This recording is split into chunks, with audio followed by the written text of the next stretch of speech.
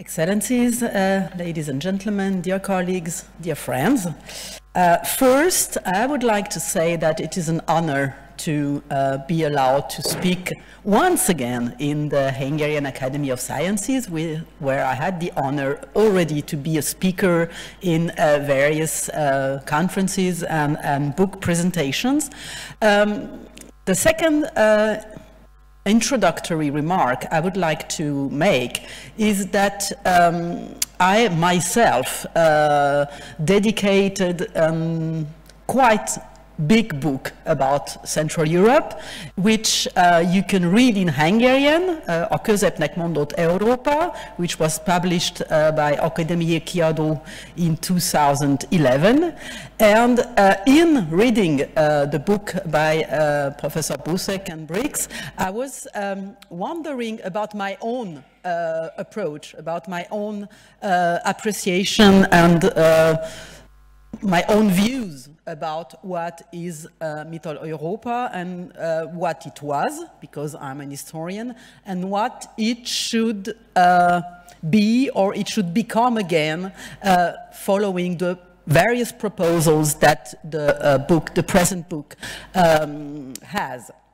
So I was uh, really interested in reflecting about uh, these various questions uh, in, uh, in the book. And I also uh, had the curiosity to go back to one of the books that uh, both authors uh, wrote some years ago, which was called Projekt Mitteleuropa.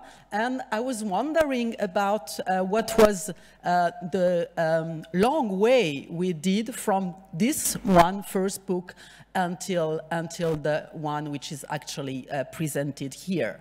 And um, reflecting on both books, I uh, figure out that there are some uh, progresses on one side, but some uh, uh, drawbacks on the on the other side. And this is also what is uh, what the present book is about: is what what went wrong or what didn't go so well and why we should now uh, concentrate on uh, trying to uh, make it better or to propose new ideas for uh, Mitteleuropa.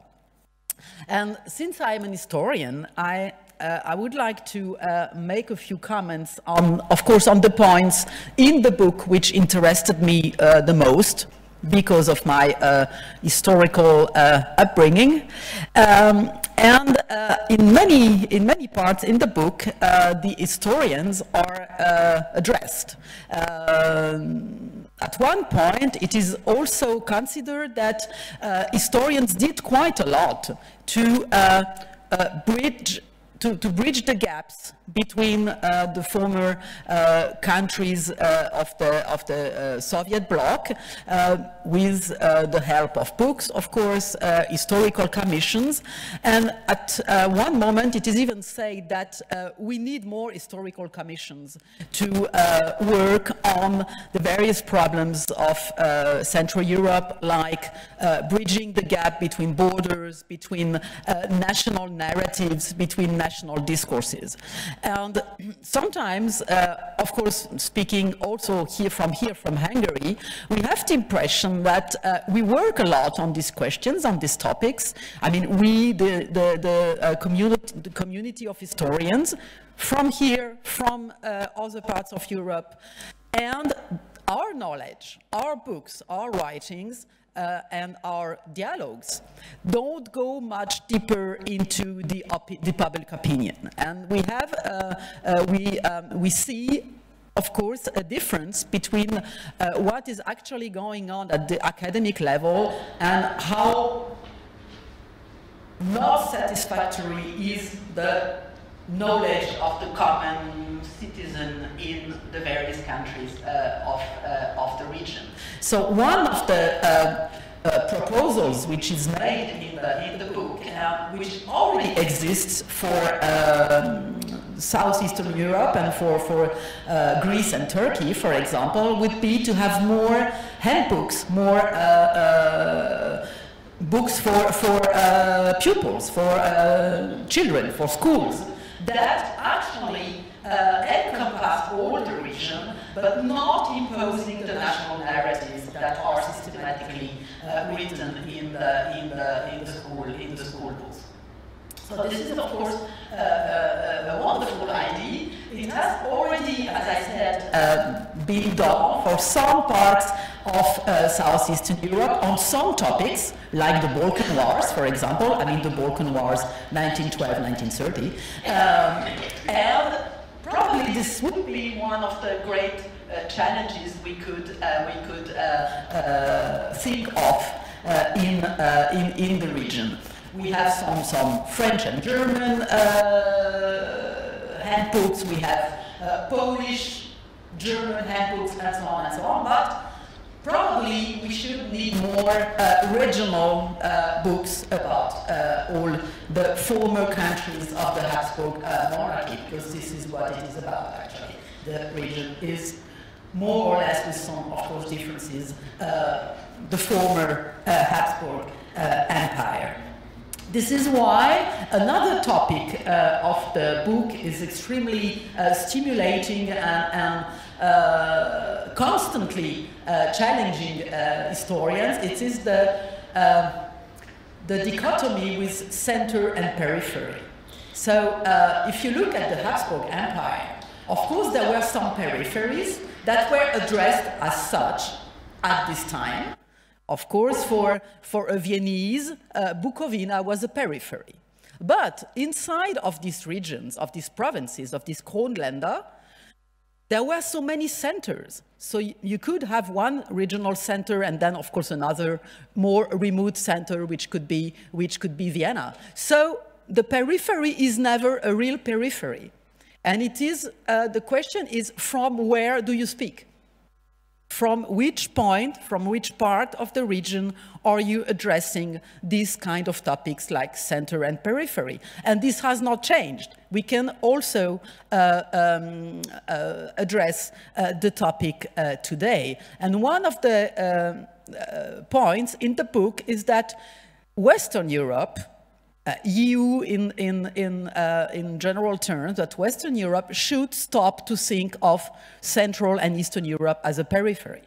Because as, uh, as long as it is conceived as such, uh, we cannot bridge all these gaps I was uh, um, mentioning at the beginning of my talk. And one of the ways for stopping to peripherize or to marginalize uh, Central and Eastern Europe would be to think uh, in other terms, in other geographic terms. And um, I'm an historian, but as I, as, as I am uh, French, I was uh, brought up with geography. In France, it's uh, compulsory. You cannot study history without studying geography. So we are obliged to swallow quite a lot of geography when we study uh, in France. And uh, I never forget this uh, geographical uh, uh, thinking. And one of the interesting points in the book is also to uh, put again the Mediterranean in the mental map of Central and Eastern Europe. And I would go actually one step further because there is one part of the Mediterranean which is not addressed in the book, but which is the, the sea of the region, it's the Adriatic.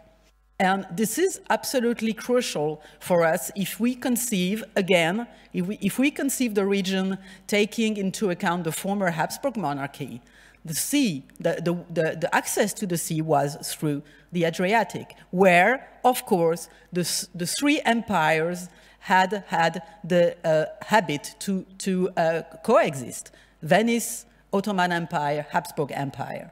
And if, I think if we um, um, look in these questions with the very famous uh, concept of the French historiography of longue durée, of long term, of course, we cannot miss that. And we have to put again, not only the Mediterranean, but of course, the Adriatic back into uh, the concepts we are developing about uh, the region.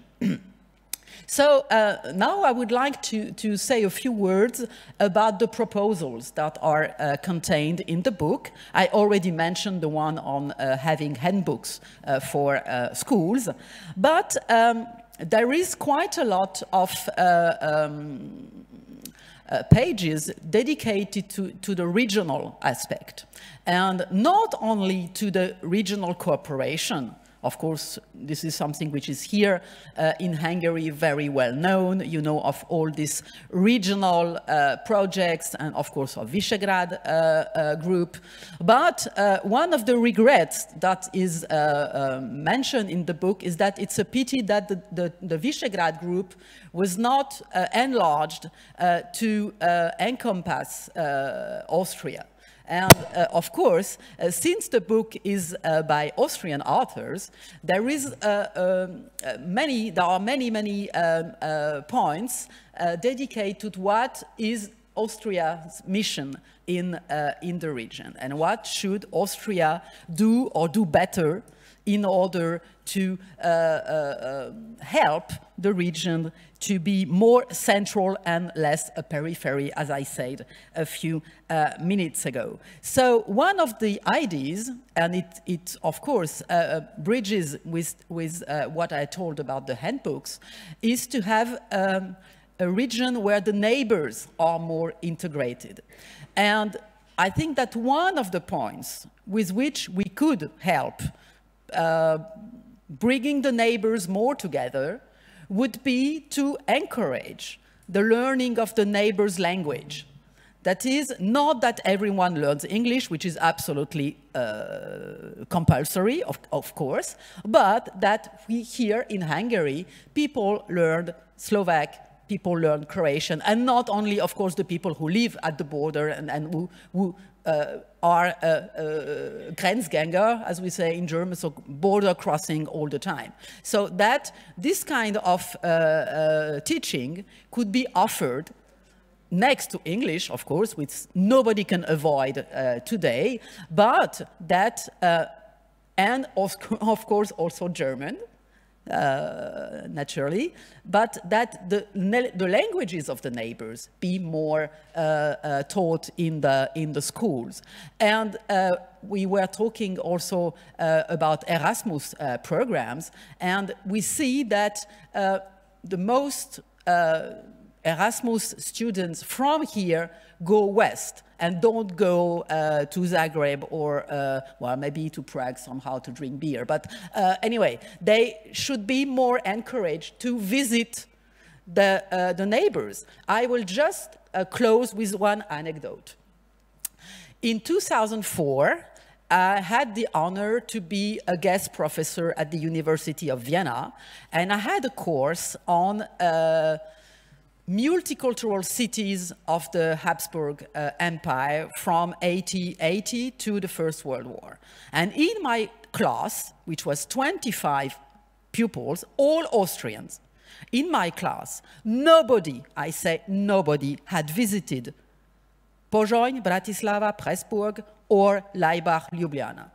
This seems incredible for young Austrians, you know because as you, as you know, Bratislava is just next door. Nobody in my class had visited these cities.